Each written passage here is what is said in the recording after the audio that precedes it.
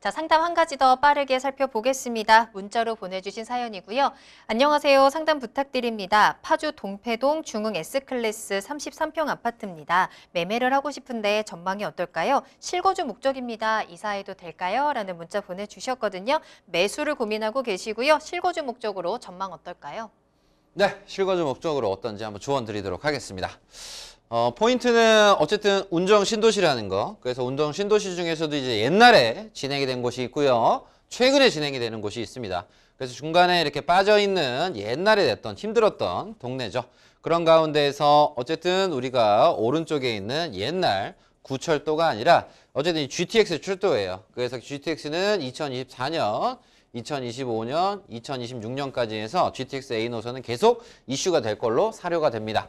그래서 근처에 제가 이제 과거 옛날에 이제 운정, 요 파주, 요 라인을 좀 갔을 때 조금 좀 놀랬던 게 뭐냐. 운정 호수가 너무 이쁜 거예요. 너무 넓고 살기 좋고.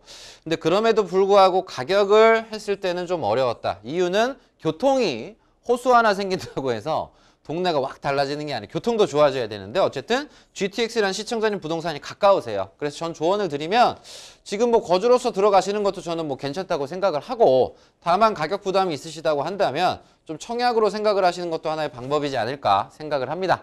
왜냐면 뭐 내가 30평대로 이 아직 GTX가 개통이 안 됐는데 막 6억대로 내가 들어가는 건 좀 약간 그렇지 않습니까? 뭐 이렇게 생각하시는 분들 같은 경우는 지금 뭐 분양가가 뭐 3억에서 5억에 나오는 것들이 좀 많이 있으니까 그 부분 좀 참고하셔서 여유가 되신다고 한다면 살고 싶다라고 한다면 가시는 것도 하나의 방법이지만 내가 금전적인 좀 문제가 좀 고심을 한 번 더 하셔야 되는 분이라고 한다면 제 조언은 뭐 청약에 뭐 창릉도 있고요. 요 이번 주에도 일반 청약이 뭐 창릉이 됐던 이런 청약들이 좀 상당히 많이 있습니다. 그래서 항상 이런 부분 좀 유념하셔서 정보는 어쨌든 많으면 좋은데 그 중에서 정보를 좀 솎아내는 좀 능력도 좀 필요한데 어쨌든 이 부분 참고하셔서 어, 거주 부분만 생각한다면 저는 당연히 괜찮다라는 좀 조언을 드려보고 싶습니다.